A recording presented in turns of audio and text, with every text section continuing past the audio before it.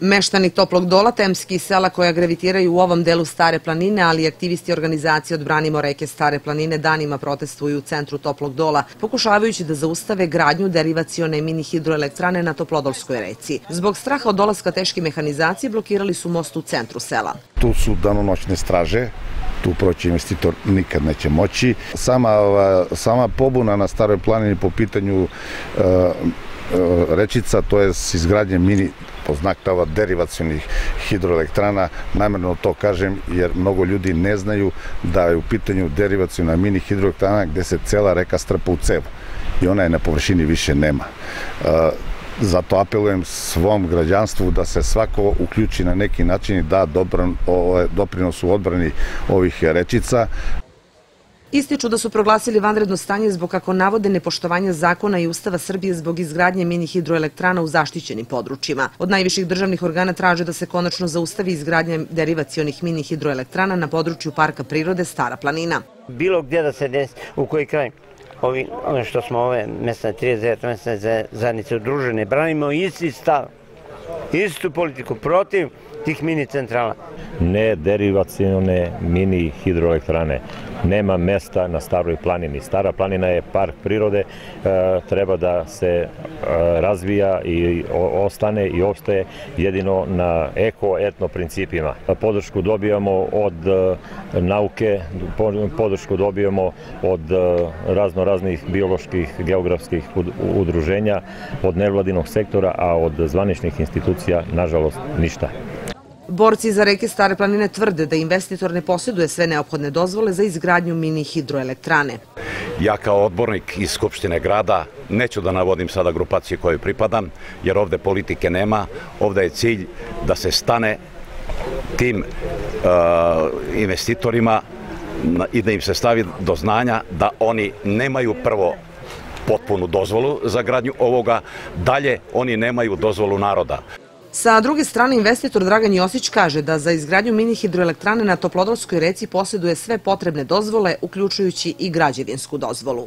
Ja imam sve moguće dozvole koje su potrebne za izgradnju malih hidroelektrana kao što je konačna građevinska dozvola od strane, izdata od strane Ministarstva građevinarstva, saobraćaja i infrastrukture. Između ostalog imam, što se tiče zaštite prirode, i pozitivne uslove Zavoda za zaštitu prirode Srbije, rešenje Ministarstva zaštite životne sredine, kao i pozitivno rešenje Republičke revizijone komisije koje se sačinjavaju najeminentniji profesori srpskih fakulteta. Josić dodaje da je minulih dana doživeo brojne neprijatnosti i od državnih organa traži zaštitu. Uspostavljanje tri prstena blokade javnih saobraćajnica oko sela Topli Do, gde njihove jedinice patroliraju sa sekirama u rukama, paljenje kuće molotovljivim koktelima, u kojima su trebali da budu smešteni radnici, kao i pretnje smrću preko društvenih mreža koji mi upućuju i raspoređivanje snajperista po brdima oko toplog dola, mogu samo da podvedem pod terorizam, nikako pod proteste. Ako policija i tužilaštvo ne počnu da primenjuju zakone ove države, sve ovo će se tragično završiti po mene.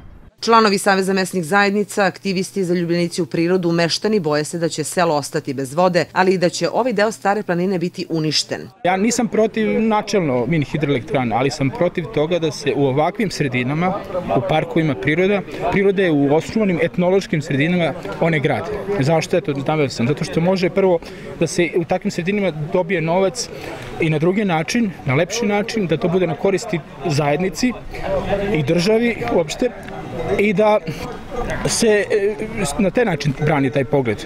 A s druge strane, e, ja kao čovjek koji je odrastao ovde, ovaj, želim da se ovo očuva, unapredi, da se ovde sagradi put i da se država i opštinska samoprava pozabave razvojem sela na neki drugi način. Po meni to je turizam i to je, to je stočarstvo.